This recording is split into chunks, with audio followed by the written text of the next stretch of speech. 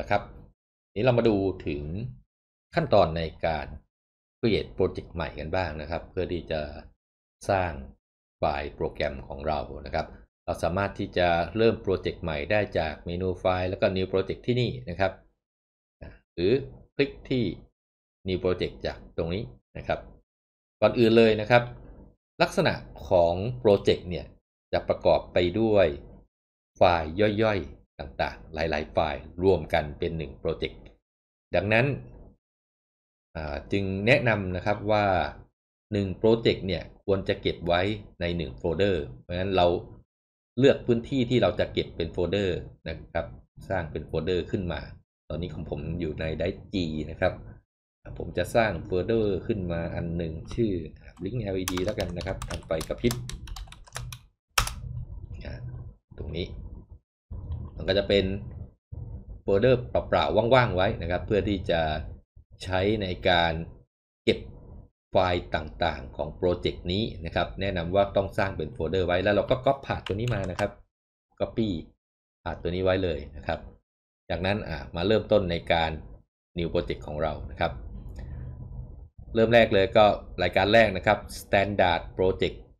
ก็เลือกรายการนี้เลยครับ คลิก next ไป ตรงนี้แหละครับก็คือจุดที่ เราจะวาง path ของเราลงไปนะครับนี้ก็เลือก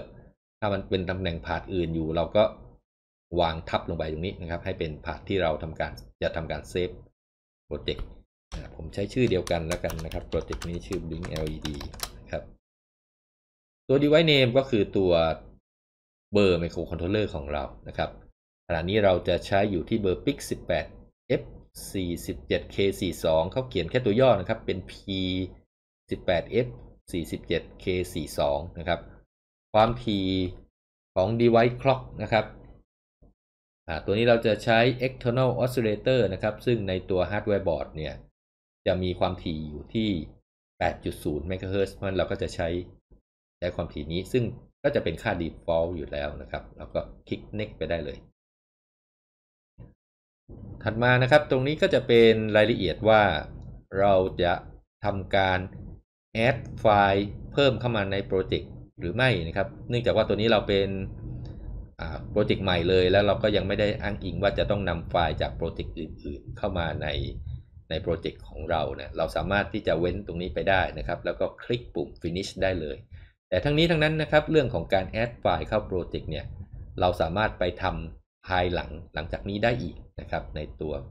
ของโปรเจกต์เองเพราะฉะนั้นตรงนี้เราคลิก finish ไปเลยครับ เราก็จะเห็นว่า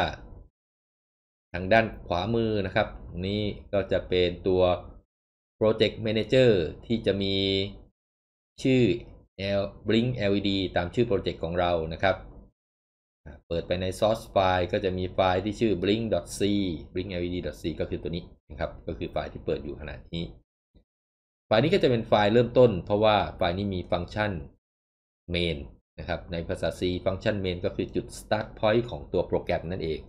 โดยในตัวฟังก์ชันก็ว่างๆ รอให้เราเขียนโปรแกรมเข้าไปนะครับถัดมาทางด้านล่างนะครับก็จะเป็นส่วนเสริมหรือเป็นไลบรารีนะครับที่มีมากับตัวโปรแกรมของ mikroC PRO for PIC Compiler ชุดนี้นะครับ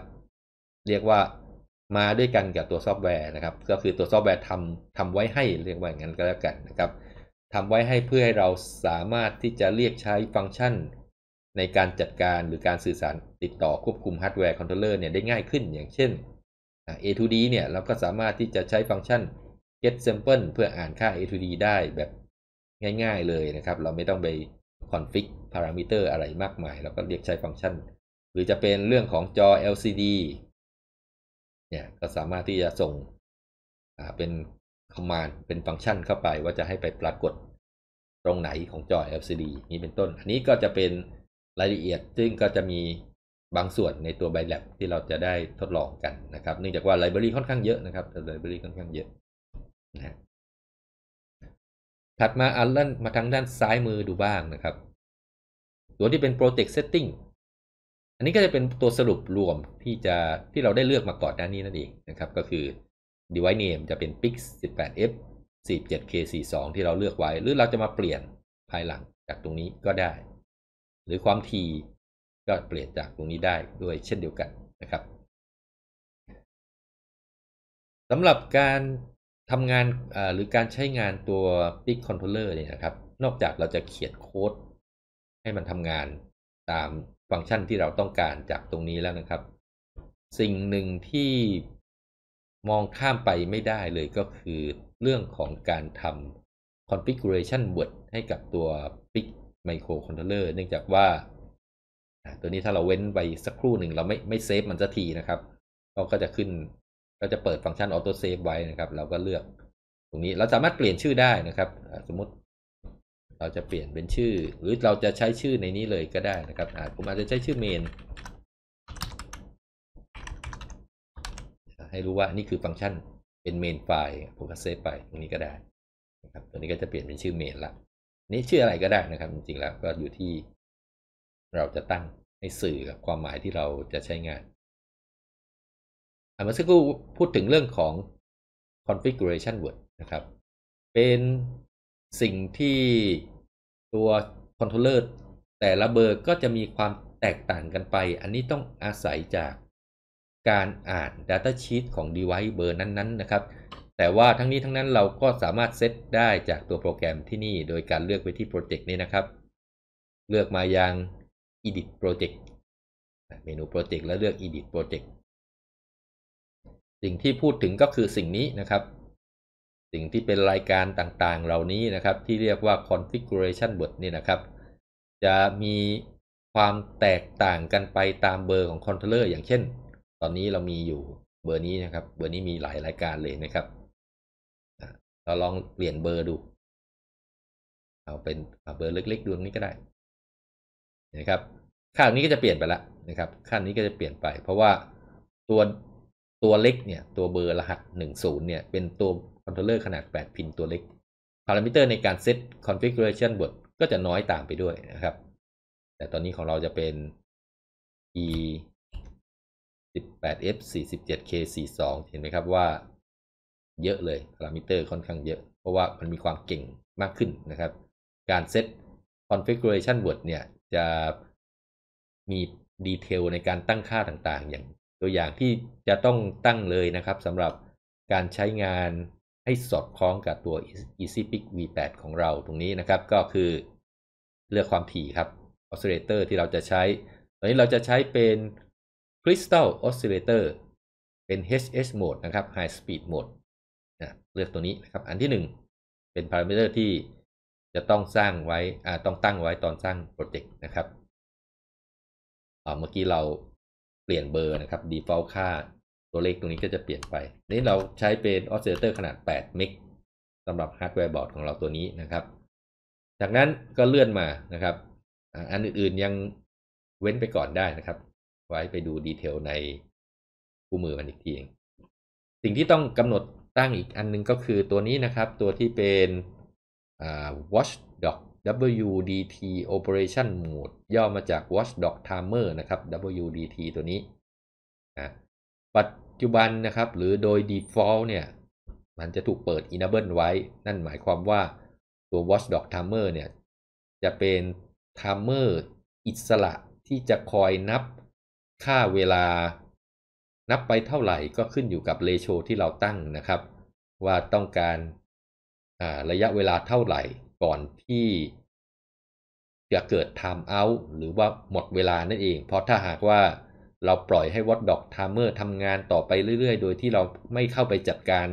หรือไม่เข้าไปดำเนินการ reset ตัว Watchdog Timer เนี่ย ตัวคอนโทรลเลอร์ก็จะพอถึงเวลา time out มันก็จะทำการ reset ตัวมันเองโดยอัตโนมัติ เพราะฉะนั้นในจังหวะเริ่มต้นของการทดลองหรือเขียนโปรแกรมเนี่ยในเบื้องต้นเราก็จะปิดตัวนี้ไปก่อนนะครับเราก็จะปิดตัวนี้เป็น disable ไปก่อน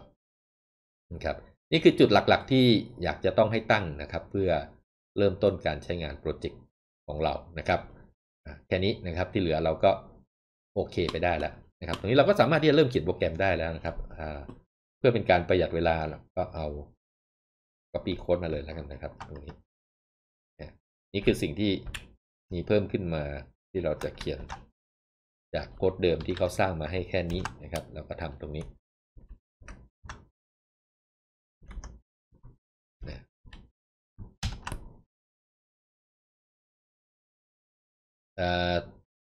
อาจจะดูเหมือน error error นิดหนึ่งนะครับ ตรงนี้เนื่องจากว่าตอนนี้เราก๊อปโค้ดมา แต่เราลอง compile ดูก็ได้ครับ มันไม่มันไม่ได้ error อะไรนะครับ สังเกตดูว่ามันก็ compile ผ่านเนี่ยนะครับตัวนี้เราสามารถที่จะ build project ได้ ถ้า error จริงๆอย่างเช่น เราลืมใส่ semicolon อย่างนี้นะครับ เนี่ยมันก็จะแจ้งเป็น error ขึ้นมาให้เรานะครับ แต่ทั้งนี้ มันก็ดูไม่สบายตานะครับเราอาจจะต้องอันนี้อาจจะเป็นเรื่องของบั๊กของโปรแกรมนิดนึงนะครับ อาจจะต้องปิดโปรเจกต์ตัวนี้ไปก่อนนะครับ ปิดแล้วเปิดใหม่นะครับพูดง่ายก็คือปิดปิดตัวนี้แล้วก็เปิดขึ้นมาใหม่ผมปิดตัวนี้ก่อนตัวนี้มันขึ้นขีดแดงๆแต่ว่าเราก็บิวได้มันไม่ได้ error อะไรก็ปิดแล้วก็เปิดมาใหม่นะครับ ตอนนี้โปรเจกต์ของเราอยู่ที่นี่นะครับ อยู่ที่นี่แล้วก็ดับเบิลคลิก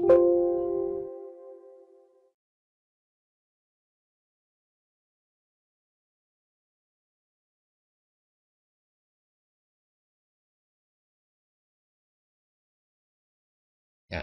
มาละ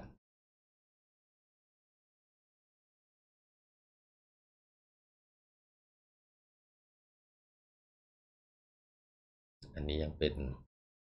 โปรเจกต์เก่าก่อนหน้านี้นะครับ ผมมาเปิดโปรเจกต์ที่นี่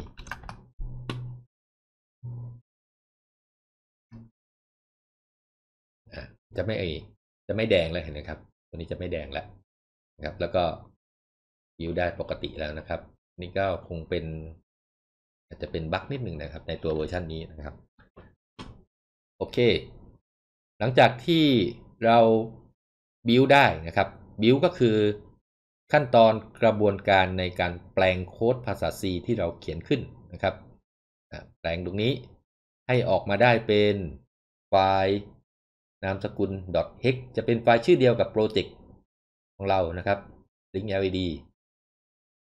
แต่นามสกุลเป็น .hex ตัวนี้แหละครับก็คือตัว hex code สำคัญที่เราจะใช้ในการโปรแกรมลงไปในตัวชิปไมโครคอนโทรลเลอร์นั่นเองนะครับ ซึ่งเดี๋ยวขั้นตอนการโปรแกรมเนี่ยก็จะแสดงขั้นตอนถัดไปให้ดูอีกทีหนึ่งนะครับ